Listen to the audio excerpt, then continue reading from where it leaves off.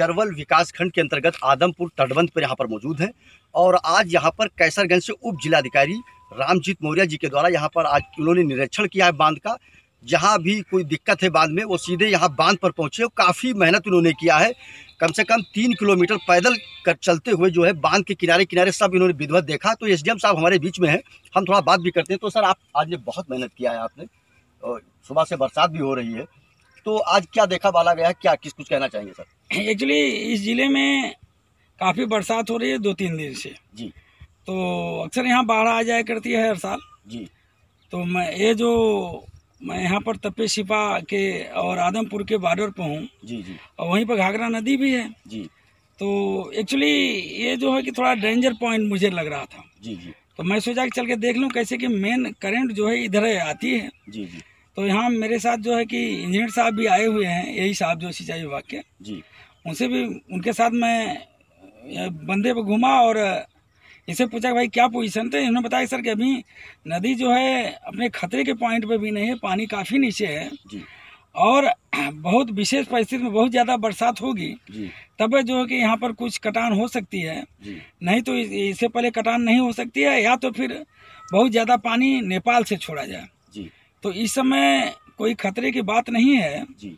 और इनके सिंचाई विभाग की तरफ़ से जो परकू पॉइंट और सब जो है बना बना करके पहले से ही सेट करके लगा दिया गया है नदी में। जी। तो इस समय जो देखने से स्पष्ट हो रहा है कि कोई भयावह स्थिति नहीं है लेकिन भविष्य में अगर बहुत ज़्यादा बरसात होती है तो यह पॉइंट जो है कि खतरनाक बन सकता है। नहीं सर तो अभी तो आप सर आदमपुर तटबंध पे हैं तो सर इसके बाद और कहाँ जाना होगा सर? इसके बाद मैं जो है कि इसी बंधा को पकड़े हुए चलूँगा उधर एक बहरामपुर एक गाँव है। जी। वहाँ पे एक सुंदरपुरवा है। जी जी। सुंदरपुरवा है वहाँ तक जाएँगे। जी तो क्या वहाँ पे कुछ दिक्कत है सर? जी हाँ वहाँ पर भी पिछले साल कटान हुई थी। जी। तो मुझे ये डर है कि उसको देख लूँ ऐसा तो नहीं कि फिर इस साल भी कटान शुरू हो। जबकि सिंचाई विभाग वाले ने बताया कि सर वहाँ पर हमने पर्याप्त जो है वो अपना परकू पॉइंट और वो सब लगा करके बचाव के लिए अपने उपाय कर लिए हैं। इसी क्रम में उधर गुड़हिया जो है उसमें भी बताया गया है कि वहाँ पर भी सर कटान होती है और कटान हो रही है सर हाँ, कटान हो रही है अच्छा कटान हो रही है। तो मैं उसको भी देखना चाहूँगा तो इसके बाद मैं धीरे धीरे उधर आगे बढ़ूँगा और सर एक चीज़ एक चीज़ पूछते हैं सर वहाँ जो है वो ठोकर बनाने की वो काफ़ी दिन से मांग भी कर रहे हैं वो लोग। हम्म। तो उस पर क्या सर कुछ शासन द्वारा कुछ निर्णय लिया गया? क्या होगा उस पर? सिंचाई विभाग ने पिछले साल जो है कि जो कि एक बड़े पैमाने पर प्रोजेक्ट बना करके शासन को भेजा था। जी। और शासन ने उसको स्वीकृत नहीं किया। जी। फिर भी डीएम सर आए थे पिछली बार तो उन्होंने फिर कहा कि एक बार फिर आप प्रोजेक्ट बनाइए और भेजा जाए। जी। और मैं भी शासन में प्रयास करता हूँ। अगर स्वीकृत हो जाएगा तो जो कृषि की ज़मीन कटती है जी जी। उसके लिए बचाव किया जा सकता है। जी। कैसे कि वहाँ के किसान जो है कि अक्सर मिला करते थे कि साहब वो हम लोग के खेत सुरक्षित नहीं है जी जी। और खेत कट जाएँगे तो आबादी भी मेरी कट जाएगी। जी।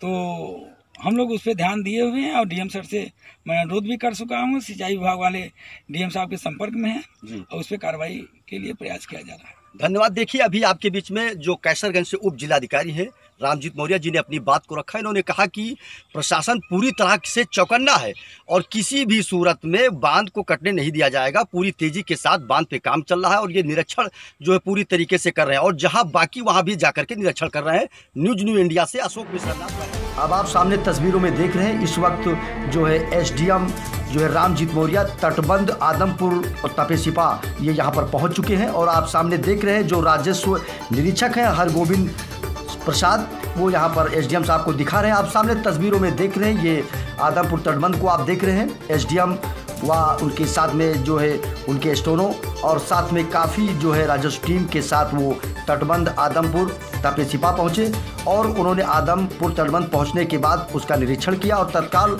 आप सामने तस्वीरों में देख रहे हैं एसडीएम फ़ोन पर बात करके जो है बाँध पे जो काम चल रहा है या जो काम हो चुका उसका उन्होंने बारीकी से निरीक्षण किया और सामने तस्वीरों में जो है राजस्व निरीक्षक दिखा रहे हैं कि बाँध जो है कहाँ जो इस वक्त पानी की धार चल रही है, जो घाघरा की नदी है, वो किस ओर आ रही है। इसके बारे में जो राजस्व निरीक्षक जो हैं, हरगोविंद प्रसाद, वो जो है एसडीएम साहब को बता रहे हैं। आप सामने तस्वीरों में देख रहे हैं। और ये सभी रिपोर्ट आप देख रहे हैं न्यूज़ न्यू इंडिया के द्वारा।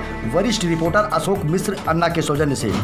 आज जो है तटबंध का निरीक्षण करने हेतु जो है एसडीएम रामजीत मौर्या अपने राजस्व की अब आप सामने तस्वीरों में देख रहे आर के सिंह। ये सहायक अभियंता सिंचाई हैं। इनसे जो है एसडीएम जो है वार्ता करके बाँध के बारे में पूरी विवरण ले रहे हैं। आप सामने तस्वीरों में देख रहे हैं जो जैसा कि हमने बताया भी आपको कि आर के सिंह ये सहायक अभियंता सिंचाई विभाग जो है ये बहराइच से ये जो है बाँध के बारे में एसडीएम साहब जो है सहायक अभियंता से बात कर रहे हैं। और बाँध पर जो है, बारीकी से उन्होंने इसका अध्ययन भी किया और राजस्व टीम के साथ उसको देखा भी और जो हो सका, वो मौके पर तरा तुरंत उसका निदान कराने के लिए अपने अधीनस्थ अधिकारियों को निर्देशित भी किया है। और आप सामने तस्वीरों में देख रहे हैं, एसडीएम साहब ने कम से कम तीन किलोमीटर का पैदल सफ़र कर करके जो है, बाँध का निरीक्षण किया क्योंकि बाँध पर जो है, कीचड़ होने की वजह से गाड़ी नहीं जा पा रही थी। इस पर उन्होंने देखा और